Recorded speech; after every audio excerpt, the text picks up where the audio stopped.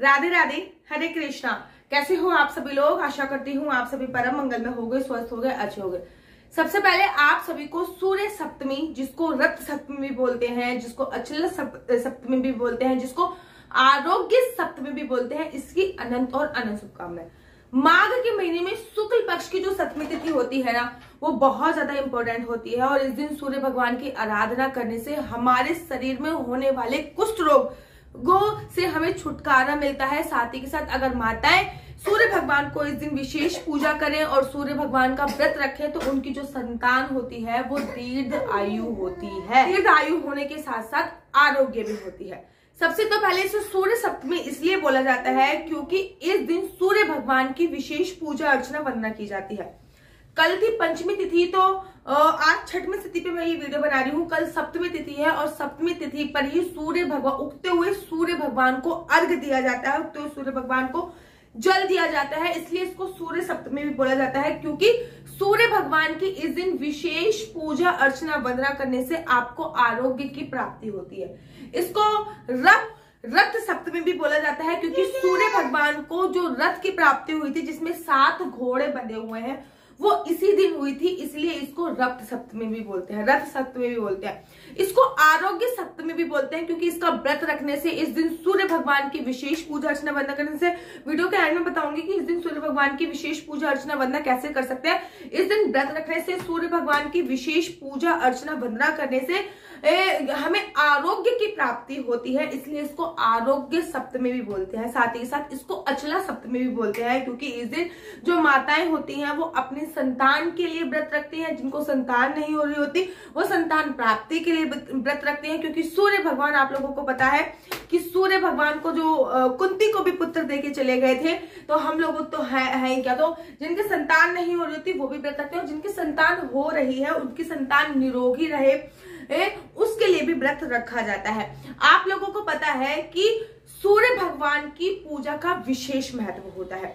सूर्य भगवान को तो भगवान राम और कृष्ण दोनों ही अर्घ दिया सूर्य भगवान को भगवान राम और कृष्ण दोनों ही अर्घ दिया करते थे। यहाँ तक कि सुबह सुबह अमृत वेला में भगवान शिव भी सूर्य भगवान को अर्घ देते हैं। भगवान शिव के शीश पे चंद्रमा विराजमान है और उनके हाथ में अमृत का कलश है। सुबह सुबह जब सूर्य की किरणें होती हैं तो उसको बोला जाता है ना, अमृत बेला तो भगवान शिव सूर्य चंद्र देवता से अमृत का कलश लेके सूर्य भगवान को अर्घ देते हैं, इसलिए उस वेला को अमृत वेला बेला जाता है, क्योंकि उस समय अमृत की बोछार हो रही होती है। सूर्य सप्तमी पे आपको करना क्या है? वैसे तो अगर आप सूर्य भगवान को जल देते हो तो बहुत ही अच्छी बात है, लेकिन सूर्य सप्तमी पे विशेष प्रकार से पूजा अर्चना वंदना करनी है। सूर्य सप्तमी का व्रत भी रखा जाता है, अगर आप व्रत भी रख सकते हो तो बहुत अच्छी बात है। एक समय मीठा खाना खाने का इसमें प्रावधान होता है। सूर्य सप्तमी पे सुबह सुबह आपको उठ के जब आप सूर्य भगवान को जल दें विशेष पूजा अर्चना वंदना जैसे भी आपको पूजा अर्चना वंदना करनी है कीजिए। लेकिन आदित्य हृदय स्रोत का पाठ अगर आपको आता है तो आप आदित्य हृदय स्रोत का पाठ कीजिए।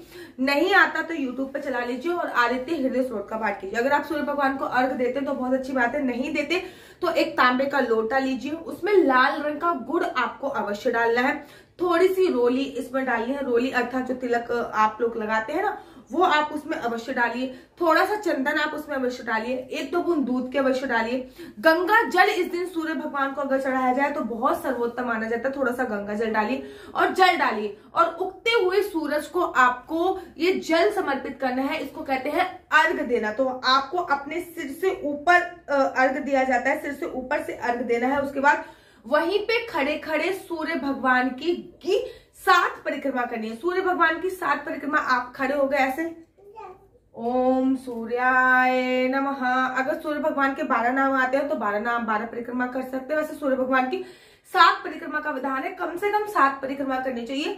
ज़्यादा से ज़्यादा तो आप कितनी भी परिक्रमा कर सकते हैं, और वहाँ पे जो आपने जल सूर्य भगवान को दिया है, उसमें से लोटे में एक या दो बूंद जल बचा के रखना, उसको अपनी उंगली में लेना और अपने मस्तक पे लगाना। इस दिन अगर आपको सूर्य नमस्कार आता है तो इस दिन आप सूर्य नमस्कार कर सकते हैं, नहीं तो सूर्य भगवान के बारह नाम, ओम सूर्याय नमा, ओम भास्कराय नमा, ओम रवाय नमा, ओम हिरण्य गर्भाय नमा, सूर्य भगवान के बारह नामों का उच्चारण कर सकते हैं। ये आपको वीडियो हर जगह मिल जाएगी। मेरे यूट्यूब चैनल पे भी ये वीडियो आप लोगों को वो मिल जाएगी। इस प्रकार से सूर्य भगवान को कुछ देर वहाँ पे खड़े होकर देखना ही देखना है, कुछ देर। जब जब सूर्य की वो लालिमा निकलती है ना, उस समय खड़े होकर अगर आप सूर्य भगवान को देखते हो ना तो आप उस दिन आरोग्य की प्राप्ति करते हो। आपको उस समय खड़े होकर जैसे कि फॉर एग्ज़ाम्पल सूर्य भगवान निकले और आप उस समय खड़े हो, अपने हाथ फैला लीजिए, सूर्य भगवान को अर्घ दीजिए, प्रणाम कीजिए, वहाँ पे खड़े होकर परिक्रमा कीजिए, उसके बाद अपने हाथ खोल लीजिए कि ये सूर्य भगवान हे आरोग्य के देवता हमें आरोग्यता प्रदान करो। हे सूर्य भगवान